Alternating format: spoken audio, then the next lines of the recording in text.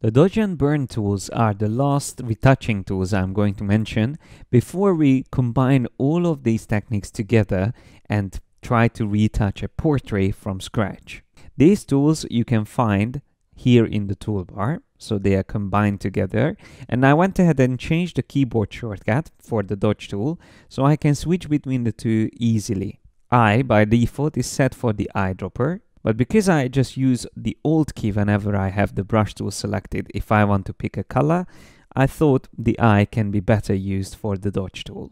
By default, you have all of these tools set to O, but this way it's easier to select them. So let me start with the burn tool. Once the burn tool is selected, it acts as a brush, so you can increase, decrease the size with the shortcut we learned before, or square brackets as well you can use for that and it has an exposure value which you can change just like opacity for other tools. So you can press 0 increasing it up to 100% 5 would go down to 50% and so on and so forth. We have also additional options but first I'm just going to use the default settings and just use a big brush maybe even bigger than this. And what I want to do with this image is to emphasize the sunset even more so I want to have a little bit more light on the girls in the middle and a bit more darkness around them. So with a big brush, I am going to paint over the edges of the image. So just around the girls, something like that, just very quickly, maybe a bit more here in the corners, almost like a vignetting effect. And then I switch to the dodge tool which is going to make details brighter. So you saw already that burn tool makes every detail darker, while the dodge tool will be exactly the opposite. So if I make this one bigger and I have it again set to the basic default settings, I can now paint over the center part and you can see that we can make that brighter. I can decrease the exposure by pressing 2, I can set it to 20% and instead of using midtones, which would just brighten up all the midtones of the area that I'm painting over. I can also switch to different ranges like highlights. Now if I choose that and paint over the same area, you will see it will have a different result. It will emphasize the brightest details, which are the backlit details, like the hair. So the light that's coming through the hair, which is a very nice detail, and that's probably the most important one to emphasize. So if I go back one step, that was before, and this is after. So just to show you the difference, if I keep using the midtones option, it won't really concentrate on those details. You see it brightens everything together. So instead of that, at this stage, I'm using the highlights to further emphasize only the brightest details. And that really gets us that perfect contrast between the background and the foreground and really focuses on the two girls in the middle. So to see how the original image looked like, I can go to the history panel and then click on the original image. So that was before and this is after. Once again, before and after. Quite a big difference as you can see. But we still haven't made the most of these tools. So let me switch to another very common technique when we use the dodge and burn on faces, so portraits. Now, this is actually similar to a technique what we call contouring. So you could consider it almost as a virtual makeup. Just to make it easier to see the difference, I am going to duplicate my layer. Unfortunately, Dodge and Burn doesn't have an option to sample all layers, so they have to be used on a separate duplicate layer or in the next example I will show you another even better way of using them non-destructively. But for now I'm going to press Command or Control J which creates the duplicate layer and then on this layer I can do my contouring so I can even call this layer contouring. Now contouring is usually called where you apply darker details but let me show you a reference image where you can see exactly what I'm talking about. So that's where we have contouring normally, and that's the highlights. This is a typical makeup where the brighter details emphasizing the cheeks, nose, forehead, and this part just underneath the eyebrows, and of course also the chin and the jawline. But here is another frontal example. Of course, this technique needs to be symmetrical, And here you can see that apart from the highlights and shadows or burning and dodging, this reference also shows that we should apply a bit of blush around these areas, so on the cheeks. And that's, that's something also we can do in Photoshop, but with another tool. So seeing these two references, I can switch back to Photoshop and I can start applying dodge and burn. Let's start with burn, which is our contouring. So I'm going to start here on the nose with 50% set to midtones and I paint over this detail. Now already you might feel like it's getting too dark. She looks like as if we burnt completely her nose. Now to avoid this we have an option called protect tones. This is especially useful when you're working on skin. So I'm just going to undo these last two steps and I'm going to use the protect tones option and with that I paint over the skin. Now it's slightly better but still too strong. So I can decide whether I want to affect the midtones, shadows or highlights. We can try with the same values, st still using the protect tones and 50% exposure, but now I'm using it on shadows. That might work better, a little bit more realistic. Again, obviously too much. I just wanted to see how it looks. And then I'm going to switch to highlights. Now, of course, that completely ruins the skin tones. So I think the best is still the shadows or the midtones, but with a lower exposure for sure. So I'm going to reduce it down to 20%. I think that's even more realistic. Yeah, something like that. Now we can contour this part here. So I'm adding a darker detail there. And don't worry if you overdo some details because you can always reduce the opacity in this example because you have a separate layer for the contouring. Another one we have to do is here around that line, something like that. So far, this is what we achieved. So this was before and this is after. Now comes the highlight. So I'm going to switch to the dodge tool. Once again, I turn on protect tones and I'm going to switch to midtones, keeping it on 20% and using the pen pressure. I'm going to first paint over this detail here, then on the cheeks, on the other side as well, although maybe not as intense. So I'm just going to make my brush a bit smaller. Then also on the nose, we need highlight. On the forehead, we need highlight. Here on the jawline, we need the highlight, the chin, and just below the nose as well, we need a bit of highlight.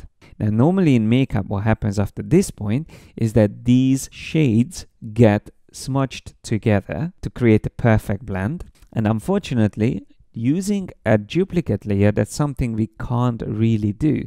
Because if we start smudging details together, it actually makes the image looks blurry. So all we can do is reduce the opacity of the layer if we feel like it's a bit too intense. But before I do that, I can show you that this is what we achieved. So that was before and after. Now, one last thing I would normally do also with the dodge tool is brighten the eyes slightly. So ju that just adds an additional glow and you can even do it on the lips if you want to emphasize them. So that was before and after. So if you feel like it's too intense, you can then reduce the opacity up to the point where you feel like it still looks realistic.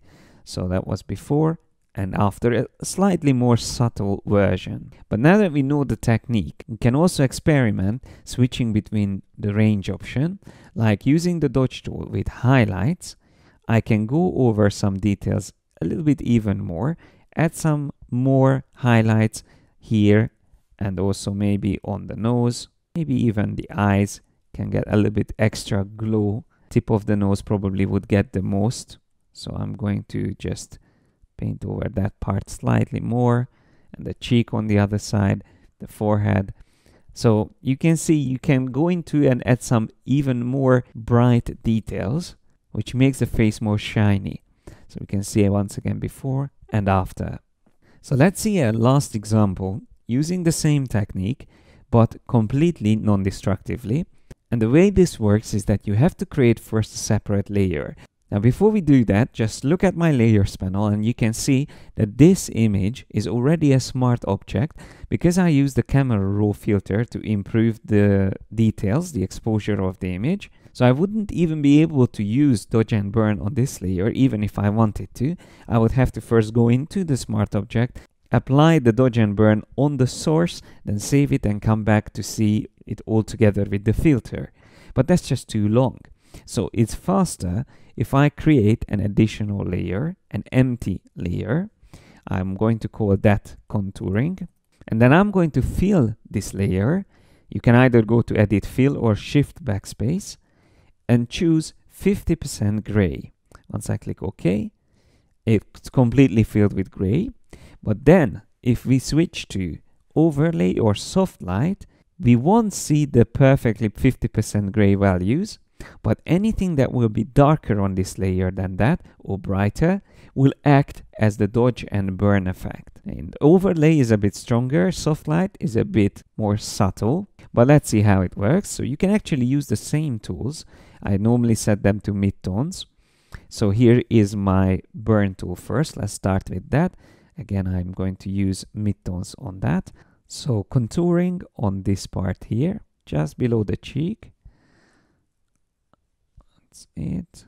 Then on the nose, the two sides of the nose. Then we can also apply a bit here around the eyes, closer to the hair. Also, we can make these details darker slightly and even the neck, just to add a bit more depth on the face.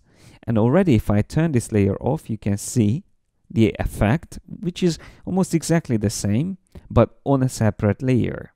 And you will see the advantage of this soon. So when I feel like I've got a good result on this, maybe we can add a bit more darker details there. And I'm going to add a bit more highlight on the forehead and also on the nose, here on the cheek, on the jaw and here around the eyes something like that. Now if I turn off the layer that was before this is after. And remember when I said that this is the time when you would smudge these details together if you were a makeup artist. Now that's the thing that you can actually do here in this layer because if I just switch back to the normal mode on my layer you can see this is what we created. It looks quite scary actually but what you can do is to blur this out. So if I go to the filter menu and choose simple blur Gaussian blur we can increase this radius even more if we want. So let's click OK and let's see that was before. This is after. You can see it's a bit more blurred but if I switch back to overlay it will still act the same, it's just slightly more blended. So blurring your contouring layer, which is set up the way we set it up with 50% gray set to overlay, can blend these details better together. And of course, you can still reduce the opacity if you feel like it's still too harsh. And you can also reduce it down by set it to soft light instead of overlay. You can see soft light still adds the effect, but in a much more subtle way. I'm going to keep it on overlay just to make it more visible. And I promise I show you how to add the blush. Well, the blush is very simple. I would use another separate layer for that, so another empty layer. But in this case, I would use the brush tool. And I normally pick a color from the lips for the blush, just to be in harmony with the face. And I use a big brush and of course soft edge with an opacity normally set to 20 or 10%. And then what you need to do is to paint over the area where you want to apply the blush. So I'm just going to paint over a couple of times here and on the other side like that.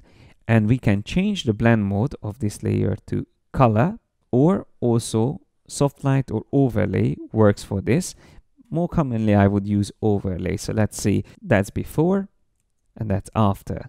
Just a nice, natural, healthy blush on the cheeks. So if we want to see before and after, that was before contouring and adding the blush, and this is after applying our virtual makeup. One last thing I would do once again on my contouring layer is to brighten up the eyes a bit because they were just a little bit too dark for my liking. So once again, let's see before and after. That was before and this is after. And the good news is that now we are ready with all our retouching techniques to do a complete portrait retouching example in the next video where I'm going to combine all these tools together and change the look on a portrait completely.